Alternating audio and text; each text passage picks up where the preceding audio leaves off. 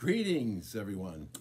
This is an important primary election for the upcoming U.S. Congressman in the House of Representatives coming up on September 5th of 2023. Congressman from the House of Representatives is known as David Cicilline. He has served as your congressman for 12 years since 2011, and he has resigned to take over a new position as Chief Executive Officer uh, with the Rhode Island Foundation. Now that vacancy is now existing, and he has served for 12 years, and we want to thank him for an outstanding job. Now, you probably want to know what you should be doing. You and your family should be looking forward to the upcoming election in District 1. So if you notice the map in District 1 over my shoulder, you will take notice that Bristol County has the following towns and city.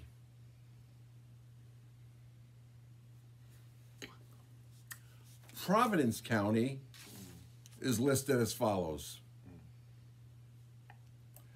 Now you notice that Providence, it says and parts of Providence because there are two districts within Providence, District 1 and District 2.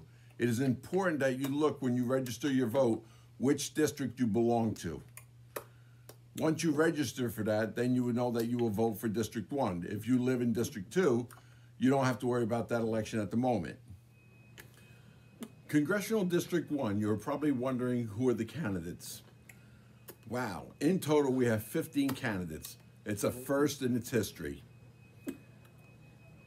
Historically, we've had a few people running, but now we have 15. 13 are running as Democrats, and the following names are those people on my right-hand side. We have two individuals running as Republicans. Are you a registered voter in Rhode Island yet? If yes, that's great. And if you haven't registered, it's okay because we strongly encourage you to register to vote in the following manner. There are three different ways that you can register to vote. The first one is to do it online, where you can put in your information, or you can mail in your form, or you can show up in person and submit your registration form. The following link will provide that information as follows. Once you have the registration to vote, that has to be done by August the 6th, which is this Saturday, for the primary election, which is going to take place on September the 5th. That information that fed into online is important. You must have a valid driver's license or an official validated state ID with your first and last name and your birth date to make sure that all these things are legal.